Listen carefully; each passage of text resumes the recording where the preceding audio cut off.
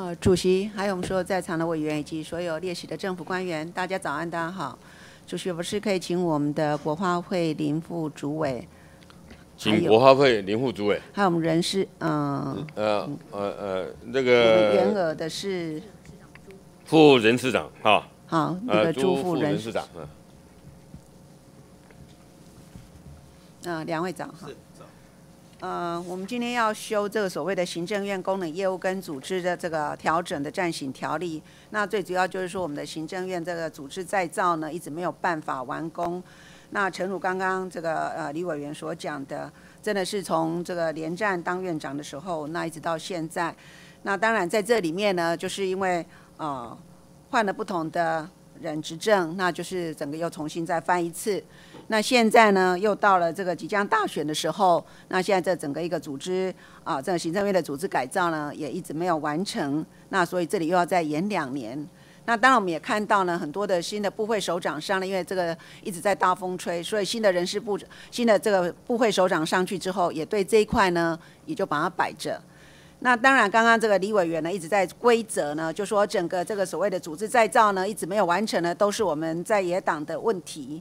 但是我们也看到，就是在我们台湾，我们其实一直在讲说我们是海洋立国，对不对？那在以前，我们这整个一个啊、海洋是完全是被因为军事的关系，就是整个一个国家安全的关系，所以其实是整个是封锁的，我们是把自己把它封锁起来的。所以整个我们的台湾的周边的我们我们的海洋，虽然说在以前我们台湾对不对，是一个真的是海洋的贸易是非常非常的发达，可是后来因为戒严之后，整个是整个是封锁的。所以呢，当初在整个一个行政院组织再造的时候，我们看到虽然号称为海洋立国，但是对于这一块我们根本没有任何的计划，也没有任何的愿景，整个只是在在想说怎么样把海巡署替调整而已。所以呢，好不容易呢，到现在终于有一个海洋委员会出来了。那海洋委员会当初在这个呃设计的时候呢，大家一直在想怎么样把海巡署的这些人力把它调拨到各个地方去。可是事实上，所谓的海洋的保育，对不对？海洋的这些的这个发展，海洋的这些资源的一个研究等等，这个跟海巡署的这些所谓的警力是完全不一样的。海洋这个国家的一个安全，对不对？跟这个什么海洋的资源的一个开发，我们海洋的观，这个海上的观光等等，我想这个跟我们原来的这种所谓从国家安全的这个角度去海巡署的这个部署是完全不一不一样的。所以今天呢，好不容易也大家能够从善如流，设立了海洋委员会，也有设设立了这个所谓的啊这个啊海洋的这个部啊这个所谓的保护署啊，这个海洋资源的这些啊部分。那所以在这里呢，我们就就会牵涉到的，就是说整个一个组织的一个再造呢，其实并不是说只是为反对而反对。那在这里还有另外一个呢，啊，这个我也今天想要啊请教的就是。啊，我们在这个陆委会也没过，对不对？那陆委会里面一直在把这个所谓的蒙藏事务放在里面。那我不晓得说我们的陆委会你要去管蒙藏事务，今天已经是蒙古国，对不对？我们还要把它放在这里面吗？对不对？那西藏这个所谓的吐蕃，他们的这个流亡政府，如果今天蒙古跟这个所谓的西藏，它已经是中国的一个领土里面，还归到我们能够去管啊？所以这里面其实有很多在争执的地方，那这些东西没有厘清，然后我们就随随便便把它通过。那另外一个呢，我们会看到的，其实就是我们这整个一个人事啊，这个上个礼拜呢，我们还在审核对所谓的三级机关，那三级机关里面的大家的这职等呢都上升了。那上升的时候呢，是不是他的薪水待遇也都全部都要职等？就是说三级机关是不是所有的这些的官等职位全部都要提升？有十二职等要原来十三职等可能要变成十二职等啊，等等这些，那薪水待遇是不是也同样的都要提升？那另外呢，我们一直在号称说，哎，这整个一个组织再造，其实最重要的就是要瘦身，对不对？所以我们也表面上看起来好，我们从这个所谓的。三十七个委员会啊，三十七个部会呢，把它瘦身到二十九个部会。但是我们的人事有真的有瘦身吗？当然，我们从总员额法有去控制，可是我们看到我们从总员额法控制的结果呢，怎么样？我们的约聘的人数越来越增加，所以在这里就会变得非常的奇怪的，就是说，好，我们的冗员没办法去除，或者说我们的这个淘汰的机制一直没办法落实的情况之下。就会变成说，很多他的应该要在他的职能，他应该发挥功能的，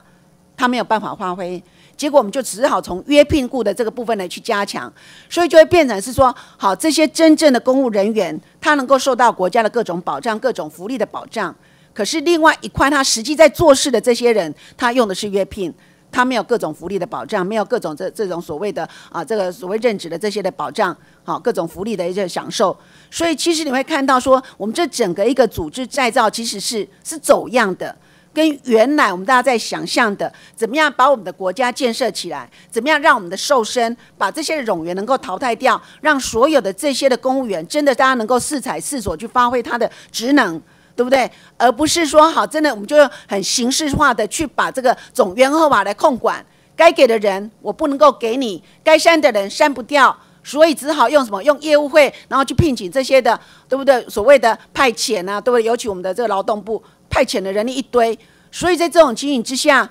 是整个是走样的。所以在这种情形之下，我们对于这样的一个政府的组织再造，今天走到这里，当然我们知道说，其实叫上帝也会疯狂，因为刚开始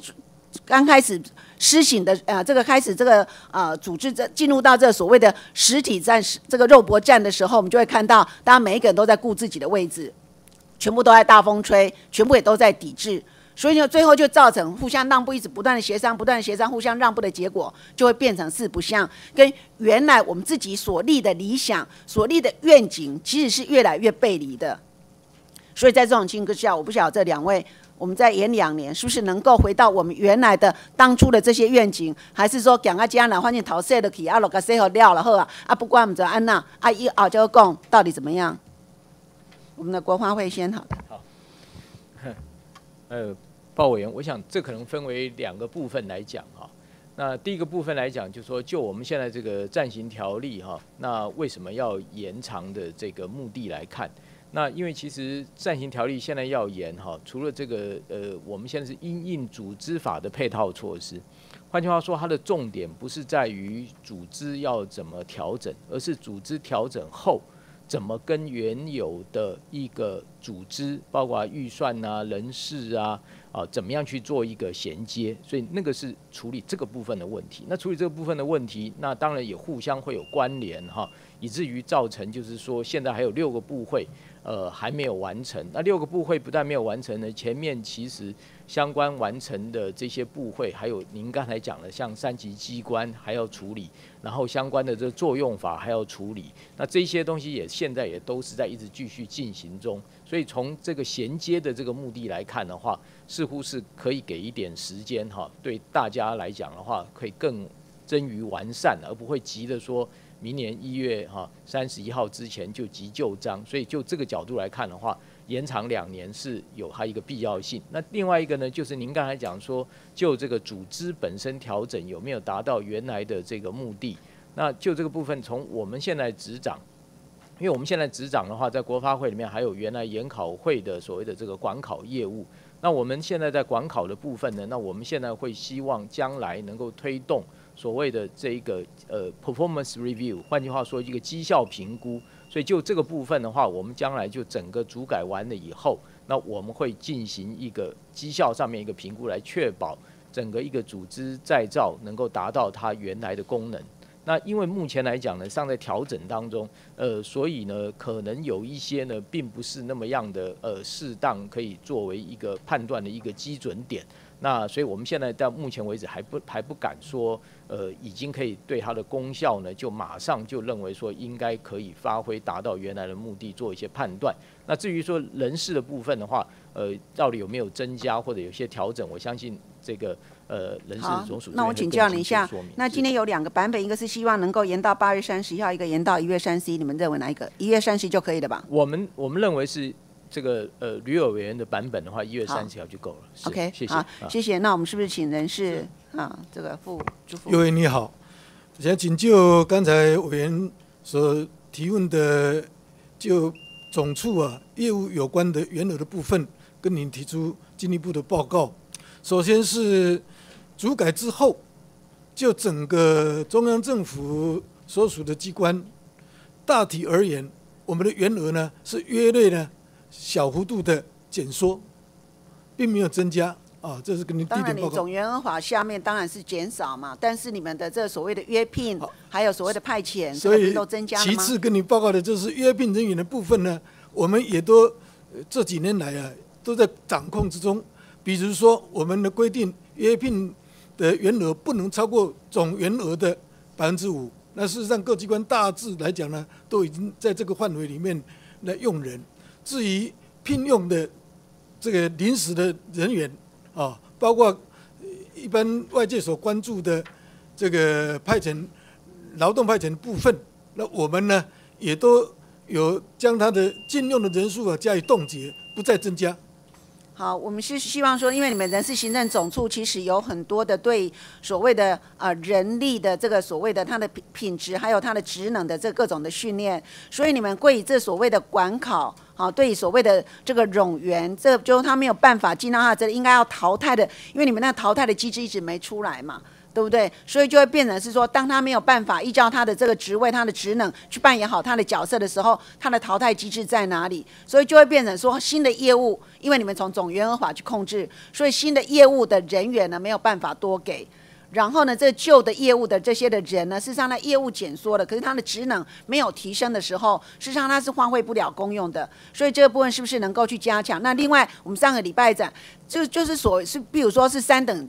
就是三等，就原来是四等的这个机机关，那现在变成三等，那它的这个所谓的职等是不是全部都要提升？那我们看到呢，就是说很多的部会其实都不一致的，所以你们在这一次组织再造的时候，不是应该要把它全部一齐化吗？否则的话，哎，你同样三等机关，对不对？为什么你的这个就会十二职等？那为什么有的是十四职等？那大家就引起这种所谓的不皮嘛？同样都是三等机关，那为什么有的这样，有的那样子？那还有那个员额，对不对？三等机关有的员额是这样，有的员额是这样子，那为什么是不一样？那所以这个部分你是不是要把它划分？或者的话，就会变成个别机关不断跑到我们司法委员会来说：“哎，你看人家别的委员会，人家三等机关、职等都这样，为什么我们就就小看我们？我们就小媳妇啊？”那我们这里就变成说你没有那个原则，所以我们是希望说你们能够把那个原则把它弄清楚。然后呢，也能够守住那个原则。如果说好我们定的原则就是这样，那任何机关来说都是一样，而不是说啊哪个机关大家关说讲一讲之后就啊这某个某个部分它可以提升，哪个部分不行。那我觉得说这样嘛，